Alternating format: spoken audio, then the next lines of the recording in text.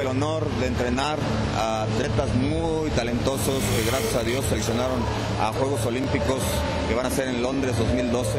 Está Alejandra Orozco, está Aranza Chávez eh, de mujeres y tres hombres que son Iván García, Germán Sánchez y Julián Sánchez.